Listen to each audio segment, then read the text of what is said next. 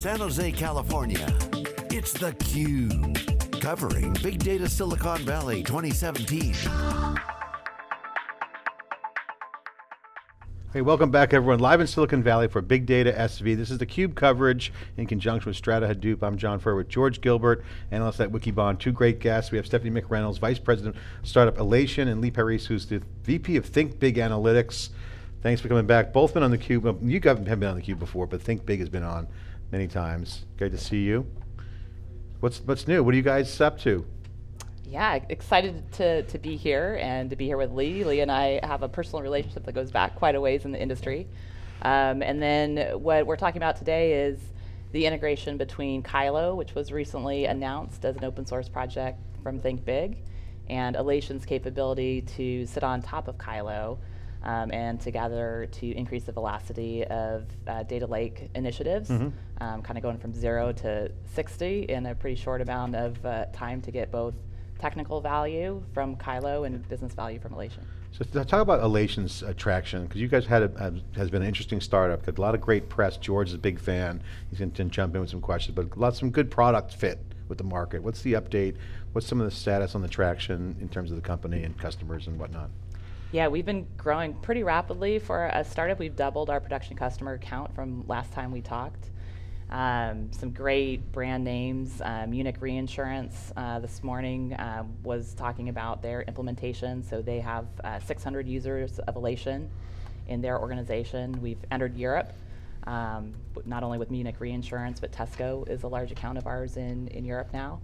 Um, and here in the States, we've seen broad adoption across a, a, wide range of industries, everyone from Pfizer in the healthcare space to um, eBay, who's been our longest standing customer. They have about a thousand weekly users on, on Alation. So um, not only great um, you know, kind of a great increase in number of, of, logos, but also organic growth internally at many of these companies across data scientists, um, data analysts, business analysts, a wide range of, of users of the product as well. It's been interesting, and what I like about your approach is, and, and we talked about Think Big about it before, we let every guest coming on so far that's been in the same area is talking about metadata layers. And so this is interesting. There's a metadata, data addressability, if you will, for lack of a better description, but yet human usable has to be integrating into human processes, whether it's visualization or any kind of real-time app or anything. So you're seeing this, this convergence between I need to get the data into an app, whether it's IoT data or something else, really, really fast. So really kind of the discovery piece is now the interesting layer. How's the competitive is it? I mean, and, and who's got, what's the different solutions that you guys see in this market? Yeah, I think it's interesting because metadata has kind of had a revival, right? Everyone's talking about the importance of metadata and open integration with metadata. Um, I think really um, our angle as, as Alation is that having open transfer of technical metadata is very important for the foundation of analytics. Um, but what really brings that technical metadata to life is also understanding what is the business context of what's happening technically in the system, what's the business context of data, what's the behavioral context of how that data has been used that might inform me as an, an analyst. And what's your unique approach to that? Because that's that's like the holy grail. I mean, it's like translating geek metadata, indexing right. stuff into like usable yeah, business I mean, outcomes. This has been a cliche for years. The, the approach you know? is really based on machine learning and AI technology to make recommendations to business users about what might be interesting to them. So we're at a state in the market where there's so much data that is available and that you can access um, either in Hadoop as a data lake or in a, a data warehouse in a, a, database like Teradata. Um, that today what you need as state of the art is the system to start to recommend to you what might be interesting data for you to use mm-hmm. as a data scientist or an analyst. And not just what's the data you could use, but how accurate is that data? How trustworthy is it? Um, I think there's a whole other theme of, of governance that's rising that's mm-hmm. tied to that metadata discussion, which is it's not enough to just shove bits and bytes between different systems anymore. You really need to understand how's this data been manipulated and, and used, and how does that influence my security considerations, my privacy considerations, the value I'm going to be able to get out of that data set. Lee, what's your what's your take on this? Because you guys have a relationship. How's Think Big doing? Then talk about the the partnership you guys have with Alation. Sure. So I mean, when you look at what we've done, and specifically to an open source project, it's the first one that Teradata has fully sponsored and released based on Apache 2.0 called Kylo. Mm-hmm. It's really about the enablement of the, the full data lake platform and the full framework, everywhere from ingest to securing it to governing it, which part of that is collecting as part of that process the basic technical and business metadata. So later, you can hand it over to the users so they could sample, they could profile the data, they could find, they can search it in a Google-like manner, and then you can enable the organization with that data. So when you look at it from a standpoint of partnering together, it's really about collecting that data specifically within Hadoop to enable it, yet with the ability then to hand it off to more the enterprise-wide solution like Alation through mm-hmm. API connections to connect to that, and then for them to enrich it in the way that they go about it with the social collaboration, the business to extend it from there. So that's an accelerant then. So you're accelerating the open source project in through this new, with, with Alation. So you're still gonna rock and roll with the open source Very, very much going to rock and roll with the open source. Okay. So it's really been based on five years of Think Big's work in the marketplace over about 150 data lakes. The, the IP we've built around that to do things repeatedly, consistently, and then releasing that in the last two years, dedicated development based on Apache Spark and NiFi to extend that out. Uh, great work, by the way. Open source sources continue to be more relevant. I, but I got to get your perspective on a, a meme that's been floating around day one here, and maybe it's because of the election. But someone said uh, we got to drain the data swamp um, and make data great again. I mean, I'm not a play on Trump, but I mean that. But the data lake is going through a transition and saying, okay, we got data lakes, but now this year has been a focus on making that much more active and cleaner or you know, making sure it doesn't become you know a swamp if you will. So there's been a, a focus of taking data lake content and getting it into real time. And IoT's kind of I think been a forcing function. But you guys do you guys have a perspective on that on what your where the where data lakes are going? Certainly it's been trending conversation here at the show. Yeah, I mean, I think IoT has been part of, you know, drain that data swamp, right? But I think also now you have a mass of business analysts that are starting to get access to that data in the lake. These Hadoop implementations are maturing to the stage where you so value coming out of it yeah, and, and, and, and people are trying to, to wring value out of that lake and sometimes finding that it's harder than they expected because the data hasn't been pre-prepared for them. This old world of um, IT would pre-prepare the data and then I got a single metric or I got a couple metrics to choose from is now turned on its head. People are taking a more exploratory, discovery, discovery-oriented approach to navigating through their data and finding that the nuances of data really matter when trying to evolve in, in insight. And so the, the literacy in these organizations and their awareness of some of the challenges of a lake are coming to the forefront. And I think that's a healthy conversation mm-hmm. for us all to have. If you're going to have a data driven organization, you have to really understand the nuances of your, your data to know where to apply it appropriately uh, to decision making.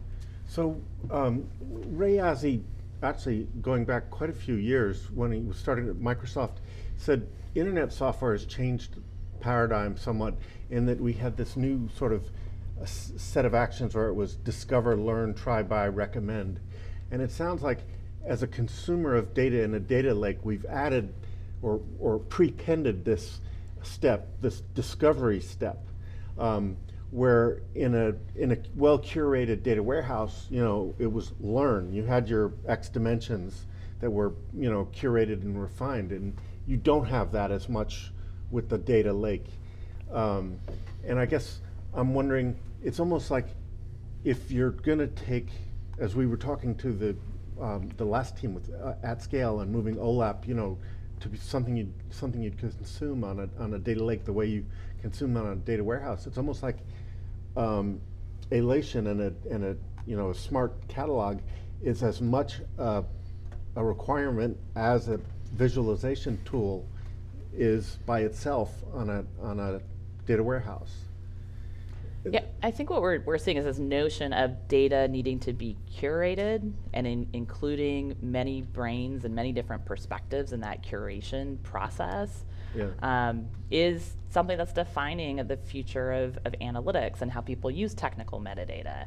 And what does it mean for the DevOps organization to get involved in draining that swamp? That means not only looking at the um, the elements of the data that are that are coming in from a technical perspective, but then collaborating with the business to curate the value on top of that data. So in other words, it's it's not just to help the user, the, the business analyst navigate, but it's also to help the operational folks do a better job of curating once they find out who's using it, who's using the data, and how. That's that's right. They they kind of need to know how this data is going to be used in the organization. The volumes are so high that they couldn't possibly curate every bit and byte that is stored in the data lake.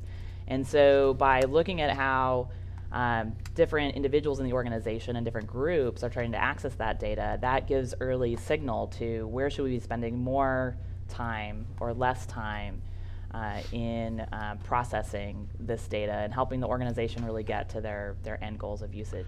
So Lee, oh. Lee, I want to ask you a question on your blog post. I just was, was uh, pointed out earlier.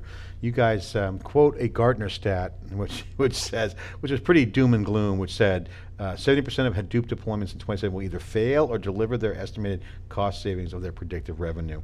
And then it says that's a dim view, but not shared by the Kylo community. Um, how are you guys going to make uh, the Kylo um, data lake software work well? What's your thoughts on that? Because I think people are, that's the number one, again, question that I highlighted Right. earlier is, okay, I don't want a swamp. So that's fear, whether they, they get one or not. So they worry about data cleansing and all these things. So what's Kylo doing that's going to accelerate or lower that number of fails in the data lake world? Yeah, sure. So, I mean, again, a lot of it's through experience of going out there and seeing what's done. A lot of people have been doing a lot of the different things within the data lake, but, you know, when you go in there, there's certain things they're not doing, and then when you're doing them, it's about doing them over consistently and, and con- continually improving upon that. And that's what Kylo is. It's really a framework that we keep adding to it as the community grows and other projects come in there can enhance it. Um, we bring the value. But a lot of times when we go in, it, it's basically end users can't get to the data. Either one, because they're not allowed to, because maybe it's not secured and, and rely to turn it over to them and, and let them drive with it, mm-hmm. or they don't know the data's there, which goes back to the basic collecting the basic metadata and data about the data to know it's there to leverage it. So a lot of times it's going back mm-hmm. and looking at and leveraging what we have to build that solid foundation. So IT and operations can feel like they can hand that over in a template format so business users could get to the data and start acting off of that. I just lost your mic there, I but did lose my Stephanie, mic, but I I'll gotta, I it. got to ask you a question. So just on a point of uh, clarification, so you guys are you su- are you supporting Kylo? Is that the the relationship, or how does that work? So So we, we we're integrated with with Kylo. Okay, so got it. Kylo will ingest data into the lake, um, manage that data lake from a security perspective, giving folks permissions, um, enable some wrangling on that data. And what Alation is receiving them from Kylo is that technical metadata that's being created along that entire path. so you're certified with Kylo. So this is I mean, how does that all work for a customer Yeah, it's a very much an integration partnership that, w- that Okay. we'd be working together. all right. So from a customer standpoint, it's clean, and you then provide the benefits on the other side. Correct. Yeah, absolutely. And, and Okay. we've been working with uh, data lake implementations for, for some time since our since our founding, really. Um, and I think this is an extension of um, our philosophy that the data lakes are going to play an important role that are going to complement databases and analytics tools, business intelligence tools in the analytics environment. And open source is part of the future of, of how folks are, are building these environments. So we're excited to support um, the Kylo initiative. We've had a long-standing relationship with um, with Teradata uh, as a partner, and so it's a great way Well, thank, to. thanks for coming them. on the cube. Really appreciate it, and thank. And what do you think of the show, you guys, so far? What's the what's the current uh, vibe of the show? No, it's been good so far. I mean, it's one day into it, but uh, very good vibe so far. Different, different topics and different things. evolving AI, out so machine it's learning. Couldn't Yeah, be, couldn't be. You couldn't be more happy with that Great machine to, learning great trend. to see machine learning taking a forefront. People Yeah. really digging into Yeah. the, the details around what it means, how All they right. can apply it. Stephanie Lee, thanks for coming on the Cube. Really appreciate it. More Cube coverage after this short break. Live from Silicon Valley, I'm John Furrier with George Gilbert. We'll be right back after this short break.